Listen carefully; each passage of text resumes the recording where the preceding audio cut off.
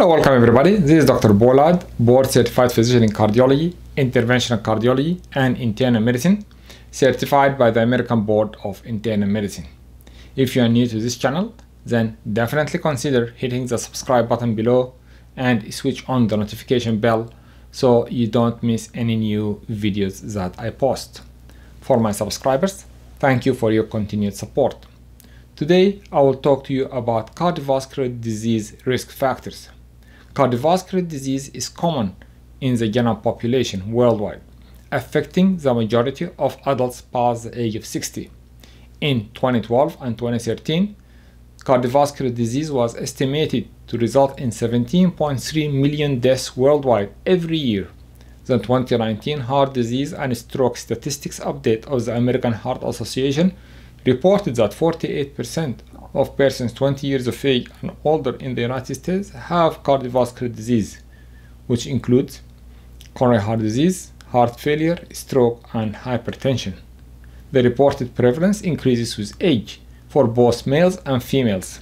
The lifetime risk of overall cardiovascular disease approaches 50% for persons aged 30 years. Autopsy data have documented that early onset of vascular disease beginning in the second and third decades of life. Many risk factors for cardiovascular disease are modifiable by specific preventative measures. In adults, the cardiovascular risk factors include family history. This is an independent risk factor for coronary heart disease, particularly among younger, younger individuals with family history of premature disease. There is general agreement that development of atherosclerotic cardiovascular disease or death from cardiovascular disease in a first degree relative before the age of 55 in males and 65 in females denotes a significant family history. A wider definition of significant family history includes cardiovascular disease in a first degree relative of any age. High blood pressure, medically referred to as hypertension, is a well-established risk factor for adverse cardiovascular outcomes, including mortality from coronary heart disease and stroke. The lifetime risk for developing coronary heart disease is significantly higher among patients with hypertension. Although the current blood pressure at the time of risk assessment is typically used in most prediction scores, this does not accurately reflect an individual's past blood pressure experience. It's important to include past blood pressure readings into the risk prediction, since the duration as well as the degree of hypertension are both risk factors. Lipids and lipoprotein levels are important risk factors. Lipids, principally cholesterol and triglycerides, are the water-insoluble compounds that require larger protein-containing complexes called lipoproteins to transport them in the blood.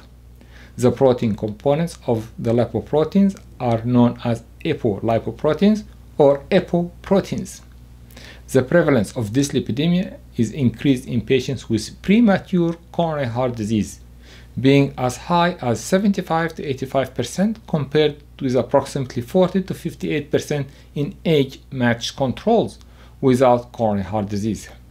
Disturbances in lipoprotein metabolism are often familial. Diabetes, including insulin resistance, hyperinsulinemia, and elevated blood glucose are associated with atherosclerotic cardiovascular disease. Diabetes accounts for 10% of the population risk of first heart attack. The all-cause mortality risk associated with diabetes has been compared with the all-cause mortality risk associated with a prior heart attack. In addition to the importance of diabetes as a risk factor, diabetes has a greater burden of other cardiovascular risk factors that non-diabetics including hypertension, obesity, increased total to HDL cholesterol ratio, high triglycerides, and elevated plasma fibrinogen. The coronary heart disease risk in diabetics varies widely with the intensity of these risk factors. Chronic kidney disease is another risk factor. The increased coronary heart disease risk in patients with end-stage disease has been well documented, but there is now clear evidence that mild to moderate kidney reduced function is also associated with a substantial increase in coronary heart disease risk. practice guidelines from the National Kidney Foundation and the American Heart Association Task Force recommended that chronic kidney disease can be considered as a coronary heart disease risk equivalent. Patients with chronic kidney disease who undergo stress testing have worse outcomes when compared with patients without chronic kidney disease. Lifestyle factors are very important. A variety of lifestyle factors impact the risk of cardiovascular disease. Cigarette smoking is a reversible risk factor for coronary heart disease. In 2016, approximately 15.5% of United States adults aged 18 years and older were smoking. The incidence of heart disease is increased sixfold in women and threefold in men who smoke at least 20 cigarettes per day compared with subjects who never smoked. The risk of heart attack is proportional to tobacco consumption in both males and females and is higher in inhalers compared with non-inhalers. Aspects of diet that have been evaluated for coronary heart disease include the glycemic index, fruits and vegetables, meat, trans fatty acids, and fiber diet. Foods with high glycemic index or glycemic load may contribute to the risk of coronary heart disease. Low consumption of fruits and vegetables is related to the risk of cardiovascular disease. High consumption of red meat has been associated with higher risks of cardiovascular disease. High consumption of trans fatty acids has been linked with adverse cardiovascular outcomes. Low consumption of fiber is related to risk of coronary heart disease. It's also associated with the development of cardiovascular risk factors, including hypertension, diabetes, and elevated lipid profile. An important lifestyle factor is exercise. Exercise of even moderate degree has a protective effect against coronary heart disease and all-cause mortality. Exercise may have a variety of beneficial effects, including elevation of serum HDL cholesterol, a reduction in blood pressure, less insulin resistance, and weight loss. In addition to the amount of exercise, the degree of cardiovascular fitness, a measure of physical activity as determined by the duration of exercise and maximal oxygen intake on the treadmill, is also associated with a reduction in coronary heart disease risk and overall cardiovascular mortality. Resistance training appears to have a beneficial effect on several risk factors for cardiovascular disease. These include lowering blood pressure, reducing fasting serum glucose concentration, improving insulin sensitivity and dyslipidemia, decreasing waist circumference, and improving body composition. Alcohol intake is also a factor. Epidemiological data indicates that moderate alcohol intake has a protective effect on coronary heart disease. Obesity, defined as body mass index greater than 30, is highly prevalent condition, particularly in developed countries, with estimates that 35% of population of the United States in 2011 to 2012 was obese. Obesity is associated with a number of risk factors for atherosclerosis, cardiovascular disease, and cardiovascular mortality, including hypertension, insulin resistance, and glucose intolerance, hypertriglyceridemia, reduced HDL to cholesterol ratio, and low levels of adiponectin. In addition to the associated risk factor of obesity, patients with more significant fluctuation in body weight, meaning cycles of weight gain and weight loss, appear to have an increased risk of future cardiovascular events. Psychological factors may contribute to early development of atherosclerosis as well as acute precipitation of myocardial infarction and sudden cardiac death. The link between psychological stress and atherosclerosis may be direct via damage of the endothelium and indirect via aggregation of traditional risk factors such as smoking, hypertension, and lipid metabolism. Depression, anger, stress, and other factors have been correlated with cardiovascular outcomes. Another risk factor is inflammation. Numerous markers of inflammation have been reported to be associated with increased risk of cardiovascular disease.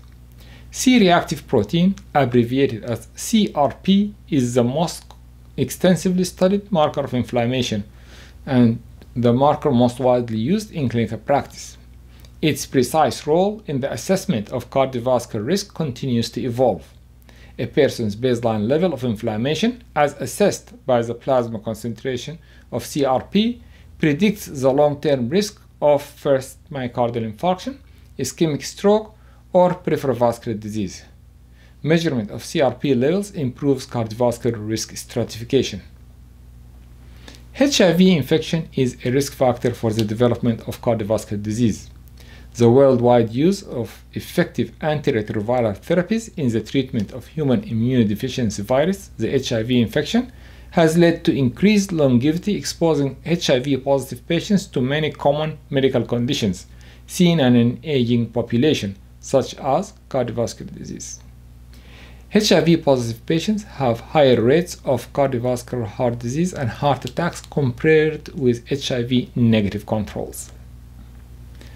Exposure to mediastinal and chest wall radiation during treatment of malignancies, for example, Hodgkin's lymphoma or breast cancer, has been linked to the subsequent development of cardiac disease, including pericardial disease, valvular disease, cardiomyopathy, and coronary heart disease leading to anginal chest pain and heart attacks. The risk of cardiac disease may be further increased by treatment with systemic chemotherapy agents. Individuals with the metabolic syndrome have a markedly increased risk of coronary heart disease. Patients with the constellation of abdominal obesity, hypertension, diabetes, and dyslipidemia are considered to have metabolic syndrome, also called the insulin resistance syndrome or syndrome X. Microalbuminuria, as measured by urine testing, reflects kidney vascular damage and appears to be a marker of early artery disease. While microalbuminuria is accepted as an important risk factor for cardiovascular disease and early cardiovascular mortality, the mechanism by which microalbuminuria is associated with cardiovascular disease remains unclear. If you have any question about what I presented to you today, then subscribe to my channel and share your question in the comments section below and I will reply to you. If you have a question that you would not like to share in public, then follow me on Twitter at Dr. Bolad and then send me a private Twitter direct message and I will reply to you. If you found value in this video, then please like and share this video with family and friends. This is Dr. Bolad helping you with your heart health. Thanks for watching and talk to you soon.